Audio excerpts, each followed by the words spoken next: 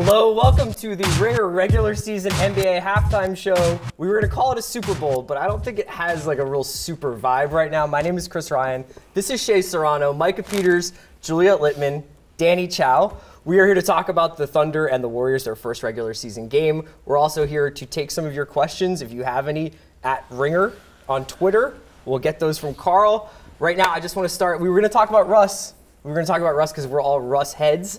But Danny, we got to talk about Durant a little bit first. What's that line? 18 points, 11, 11 for 16 shooting. So he's 11 for 17 for in the half. He has 29 points. You were way off. Already. 29. so it was like 19 plus 10. That's insane. So so many points. he, he's missed six shots. The rest of the team is shooting below 40%.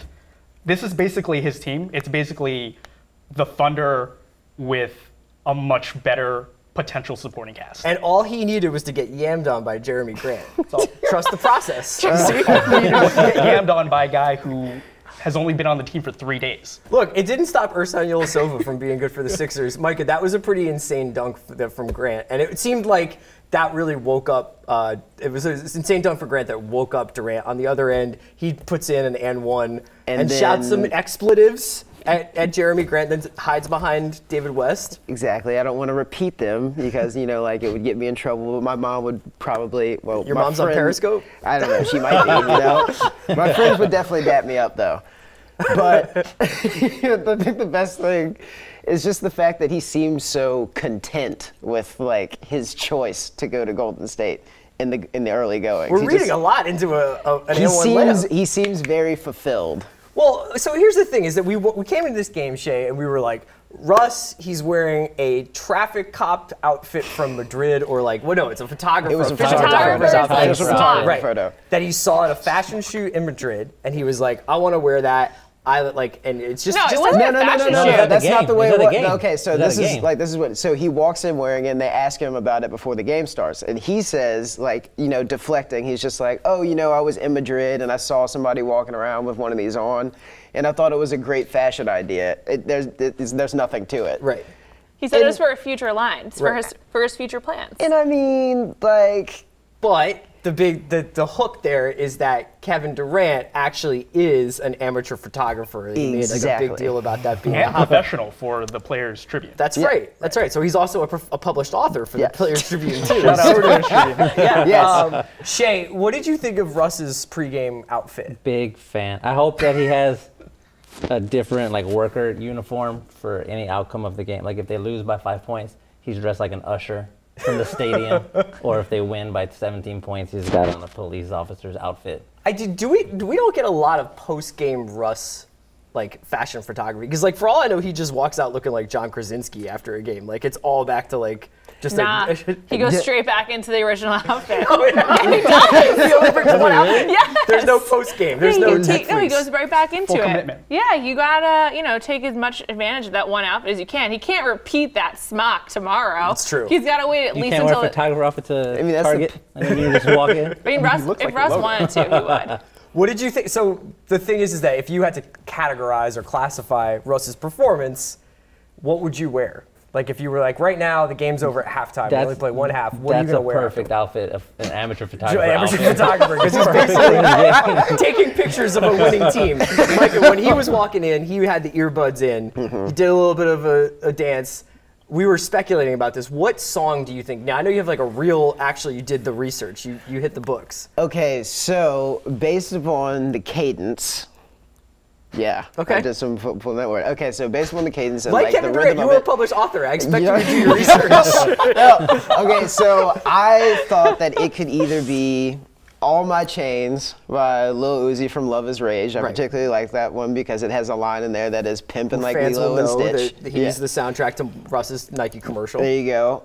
It could also be Froze off of Dream Chasers 4, which is Meek Mill featuring again Lil Uzi and Which Nicki would be Minaj. Kind of like a fast, like I learned all the words because that just came out. Yeah. And I, I personally He need, seems like the type though. I mean, like you Yeah, know, but just say, like, if, if anyone's memorizing lyrics, like, it's, It's- Russ. and It's he's gotta be. dressed all It's the way gotta perfect be. for it with everything. And uh, the third option, because of the bandana and the white ripped jeans and the Converse and whatever, looking like I thought that maybe it could be Search and Destroy by Iggy and the Stooges. I like that. I like that. The last one is, fun, and maybe like just it would be like a real curveball. But I, I kind of feel like you were right. You really did go play by play with the with the Meek Mill. I, I really, I was, I thought, I put a lot of thought into it. So much spotlight on these two guys, Juliet. I just want to say Russ so would pick Meek Mill. That's just like, it's just like such a is there some trans, transitive property we can do that that is somehow a Kevin Durant diss to be listening to Meek Mill? Like, are they, is he is Durant friends with somebody that Meek Mill is beefing with? Okay, so Kevin Durant was at the Travis Scott show, rapping oh, along to way back. Travis Scott was on a record with Drake There you go. called Company on If You're Reading This, It's Too Late. And Drake and Meek Mill were obviously beefing. It's and- shots. It's such. Yeah. It's so blatant. Definitely. It's so, So flagrant. two plus two equals four. And We're there. We figured it out. There we the are. We're- whole lead up to this game has been about Russ and KD. What do you think about some of the other lesser, dimmer lights out there on the on the floor, like two-time MVP Steph Curry and his Robin to his Batman Klay Klay Thompson? First of all, it's a compliment to Klay, calling him the Robin. I think that's really nice, and uh, we Klaytheists appreciate that. Um, Klay's game is fucked up. He's not having a good season so far. Yeah, it's tough. So like, do you think it's just that he's not getting like Danny? We were watching this earlier, and it's like. Right. It doesn't feel like the same Warriors at, at times. I know it's not. It isn't. Yeah. Right. Um, yeah, and I really do feel like a lot of last year was just the fact that they brought back so many guys and they had that, you know, innate chemistry to keep them going from, you know, game one to game 82. Now they have to kind of reconfigure some things and it's just it takes time for that to happen and that's why Kevin Durant is so important to this team right now is that he can just kind of do what he's always done while they kind of figure, you know, their chemistry out. So do you think that Klay will eventually be like? What is the thing that Klay settles at? Is it like basically like a role player shooter with like a great defense and, and takes the best defender? Like he takes the hardest defensive assignment? It's like a two-pronged problem at the moment. First of all, he's he's getting his shots. Like it's like he has plenty of open threes. He's just not hitting them. I like was looking at his uh, shot charts yesterday, and he's like particularly bad from the out, from the sides right now. Like straight behind the arc, he's like is where he's shooting best, which is weird. But it's also like you not have to typical be, for not Klay. Be Steph, Draymond, or Kevin are all Yeah. getting the ball around there, so it's not a lot of room for him. Yeah, and then the other thing, he tries to get himself going by driving, which like he has definitely improved. But it's not that doesn't really like work with their offense. So it's not re- he's not really in a position to like find his rhythm at the moment. We saw you. First of all, you're you're you, not only are you an accomplished author and illustrator, Correct. like uh, uh, extraordinaire, but you're a molder of young minds. you saw Steve Kerr lose it early in the game after a Steph Curry no call, and he went flying down. He needed like he had to have Mike Brown totally hold him back. I was kind of wondering if that was going to be like a, a hold me back, hold me back, but Mike Brown actually did hold me hold him back. Do you think that Steve Kerr needs to do stuff just to motivate these guys? Like, do you think that early in the season there's got like he's basically creating situations with which to motivate them? Would you ever do something like that? I would do something like that, but he doesn't need to do it right, now. Um, yeah, he, I think the season is going to end up basically exactly how the game played out. It started out and it was kind of weird, and the Thunder were beating them up a little bit, and then the, the Warriors just started to pull away. The same is going to happen during the season. By like February, nobody's going to be able to touch the Warriors. Yeah. Which is going to take the time to get there. But no, he doesn't need to scream at anybody yet. I have, I have a question. Yes. What do you think it looks like when Steph and KD really figure out how to play together? Because like right now, one goes off and the other just kind Right. of is submissive to that, right? Like Yeah. the Blake against the Blazers, Steph went off in the third and they they won. Like this game, obviously KD's going off now.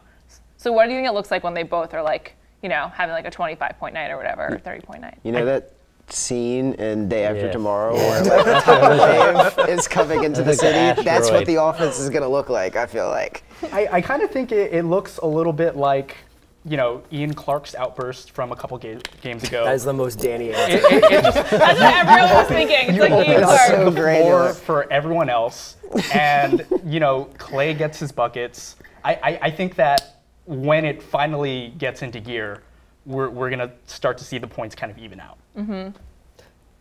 Or at least that's some you know utopian concept I have in mind. Well, Sure, you're a basketball purist, so, so that's that's your vision.